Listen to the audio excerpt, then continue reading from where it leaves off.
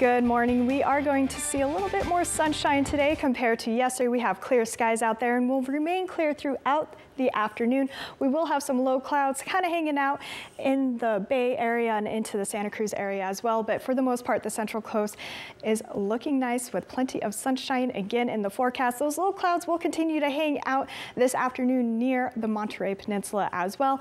And they will start to increase through the evening hours. We'll see some more low clouds sneak their way in and they will even sneak their way into the Salinas Valley come Friday morning. Now, we are watching a little system that will make its way into the Central Coast Friday evening, we will start to see some showers in the Santa Cruz Mountains and into the Santa Lucia Range as well along the Big Sur coast.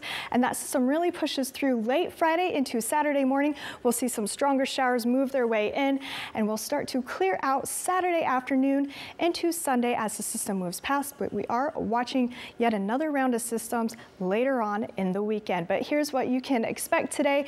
Temperatures in the 50s and 60s across the Central Coast. Salinas Salinas, you'll be at 60, 57 for Monterey. Santa Cruz, you'll be at 59, slightly warmer as we head inland, 65 for King City. Soledad, a high of 64, so very comfortable temperatures out there today. But again, just have that jacket handy and maybe a long sleeve shirt.